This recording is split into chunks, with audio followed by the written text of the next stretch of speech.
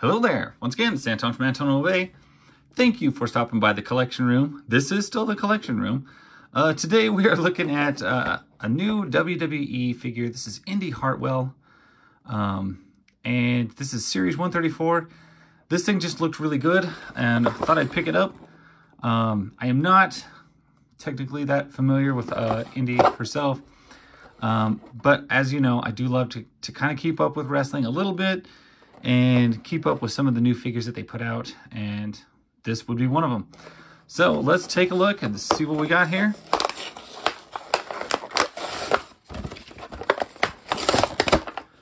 Pop this thing off the card. one of the few figures that's left that's still sold. Bubble pack on card. And I love that.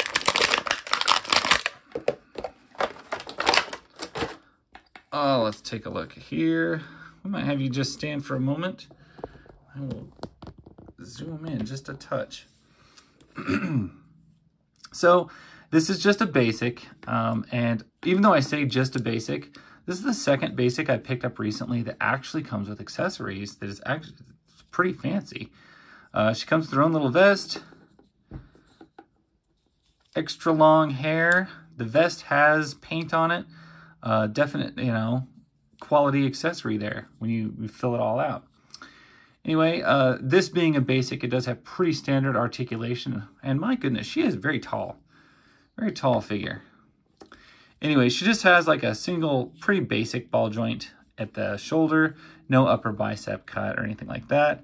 Very stiff, uh, almost 90 degree elbows. That's pretty standard with the uh, women's action figures.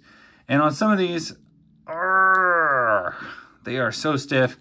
I'd almost recommend almost always running these under hot water uh, just because you don't want anything to break. And then she just gets a uh, wrist pivot, which if I remember right, the last one I got was uh, had, had a lot better uh, articulation. Anyway, uh, you get a waist rotation. The head is on a ball, so it does move around much, but you're going to have this big hair going to get in the way of that. So you have a pretty stiff, limited ball joint up at the hip. I mean, I guess you call that a ball joint. It is on a, on a peg, a ball peg. And then you're going to get single jointed knees, which aren't going to move much because they're going to take some hot water to get these things flexed up. And they are going to be hidden behind the uh, knee pads. And then other than that, you're just going to get an ankle rotation. And that's pretty much it. Not a lot of articulation going, but a but a good looking figure uh, anyway. I don't think it, I mean, it, uh, is the likeness good? I'd say the likeness, the scan was really good. I say that the paint app on the face was probably not that strong.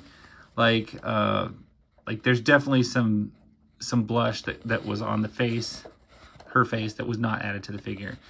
And I think that that's the biggest difference, in my opinion. Could have been a little bit better painted, but I have a feeling the, the, the scan was good. And I know some people are just hard to scan. I always think of like Randy Orton. Uh, all of my Randy Orton figures, they're, they, I mean, they look like Randy Orton, but like, is the scan that great? Not as great as it is with some people. It's just Randy Orton has a hard head to scan.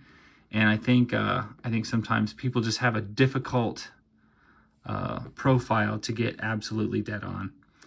Anyway, like I said, that is that is pretty much all I got on this figure. It has great paint. Uh, it was it was inexpensive, and, and like I said, she is very tall. These are very long legs, and she's well proportioned. I only say that because I have gotten quite a few uh, WWE women's figures in particular, where the legs are too short, the torso is too long, and they look just just wrong, like a little goofy. Um, she is very well proportioned and very well proportioned for a tall person to begin with. So um, that's it. That's pretty much all I got on this one. Uh, if you are a fan of Indi Hartwell at all, or if you are just a fan of, of wrestling figures like I am, and you got to keep up with the new stuff, uh, this is an easy pickup because for the price, this is a heck of a figure.